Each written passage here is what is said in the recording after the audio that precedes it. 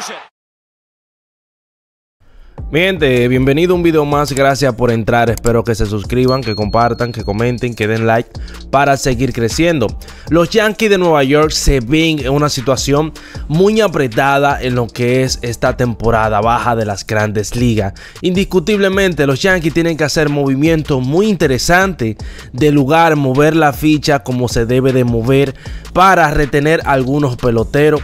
Vimos cómo salieron de Luis Severino, entre otros cañoneros que los Yankees de Nueva York necesitan. Vimos como también Domingo Germán abandonó lo que fueron los mulos del Bronx tras los Yankees de Nueva York ofrecerle ir a AAA y así de dicha forma Domingo Germán salió de la organización buscando otro horizonte, buscando un nuevo camino. Ahí vemos el cambio que andan buscando los mulos del Bronx con eh, el Marciano y Volpe. También Giancarlo Stanton, una situación muy delicada con los Yankees de Nueva York. Hay un futuro muy incierto con los Yankees, lo hemos tocado en varias ocasiones. Y en, este, en esta sección vamos a puntualizar el declive de los Yankees de Nueva York concerniente a las movidas que no lo han hecho y ya casi estamos terminando lo que es el año y los Yankees todavía no han afianzado lo que es una firma con Yoshiba Yamamoto o un canje bien interesante con Juan Soto indiscutiblemente.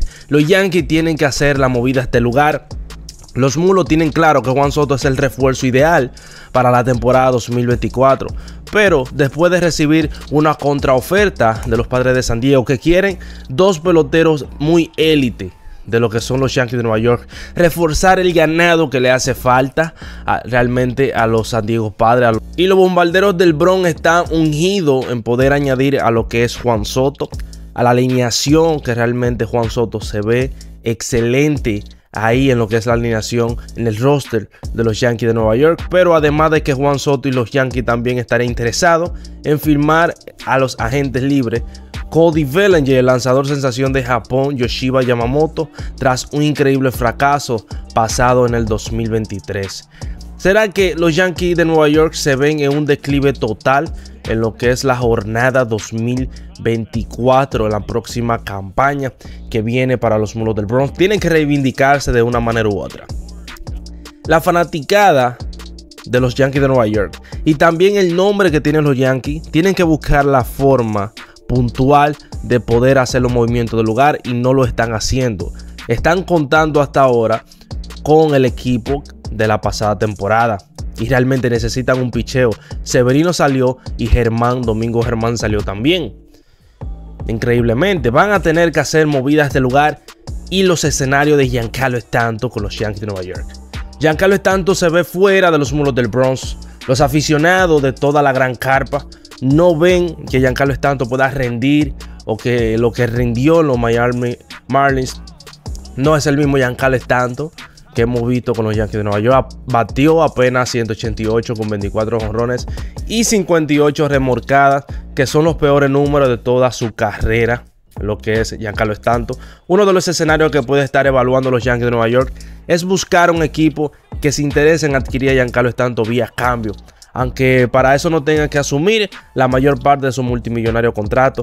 El pacto le permitirá a los mulos del Bronx adquirir al prospecto de granja y refianzarse nuevamente tras hacer un paso a lo que es pasando a Giancarlo Stanton a otra organización y realmente Giancarlo Stanton no hay ningún equipo que quiera tirarse esa cuba arriba increíblemente esas son unas de las columnas inmovibles de los Yankees de Nueva York que se le hace muy difícil afianzar un acuerdo vía cambio con Giancarlo Stanton y otra organización. El aspecto financiero es clave realmente. Tanto está ganando 32 millones para el 2024.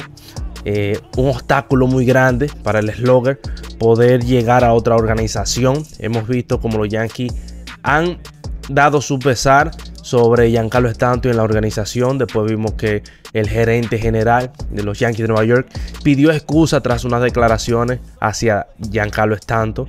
El abogado Giancarlo Stanton habló sobre la estadía de Giancarlo Stanton en lo que es la franquicia de los mulos del Bronx, que realmente se dice que tiene que tener eh, puesto fijo y cara de acero para poder establecerse en lo que es la organización de los Yankees, porque es golpe por arriba y golpe por abajo, según el agente de lo que es Giancarlo Stanton, el abogado que está llevando la carrera de Giancarlo Stanton. Y Giancarlo Stanton se ve fuera de lo que son los mulos del Bronx. Los Yankees tienen que hacer una movida urgente urgentemente y están pujando por lo que es Yoshiba Yamamoto, pero tienen una contraoferta de lo que son los San Diego Padres por un canje muy interesante con el marciano Jason Domínguez y es que ellos no lo quieren soltar de una manera u otra. Quieren quedarse con Jason Domínguez y los padres de San Diego. Realmente es un estadio que se vio totalmente a capacidad lleno en la pasada Zafra 2023, indudablemente.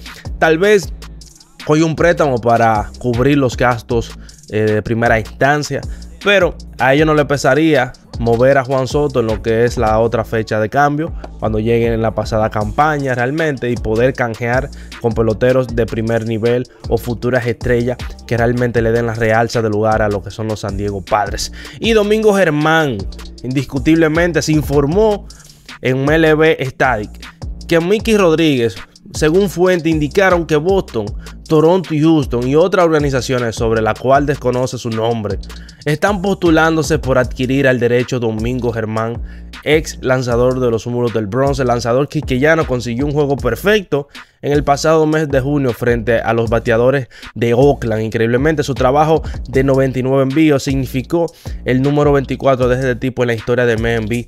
Además el primero desde que lo consiguió Félix Hernández de Seattle el 15 de agosto del 2012. Anteriormente Domingo Germán intentó una sanción por 10 encuentros. Ellos tras cruzar demasiado resina en su mano de lanzar durante el choque contra los Toronto Blue Jays por parte de Domingo Germán. Domingo Germán ganó 5 juegos y perdió 7 con los Yankees de Nueva York en el 2023. Asimismo, su promedio de carrera limpia quedó de 4.56 y Domingo Germán se ve con lo que es Boston Red Sox, se ve con Toronto o con Houston. Va a caer con una franquicia élite realmente, Domingo Germán. Vemos ahí que Houston anda en la puja por pitcher totalmente del primer nivel. Y Domingo Germán es uno de, hoy, de ellos, tras el dominicano tener unas apariciones magistrales con los Yankees de Nueva York. También Boston necesita lo que es eh, los servicios de Domingo Germán en la próxima campaña 2023, indiscutiblemente.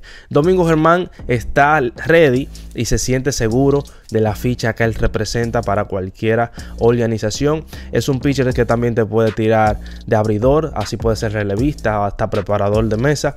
Es un multifacético en lo que es la rotación de cualquier equipo de parte de Domingo Germán indiscutiblemente le va a ofrecer a plenitud lo que es el talento. Ya es un pelotero que tiene una vasta experiencia en lo que es las grandes ligas, acostumbrado a una de las fanaticadas más exigentes que es la de los Yankees de Nueva York. Y Domingo Germán se ve en la puja por caer con Boston Red Sox o Houston, entre otras organizaciones que no han dado la cara. Díganme ustedes qué piensan de esta situación de los Yankees. Pero antes de suscríbete, comparte, comenta, da like para seguir creciendo, bro.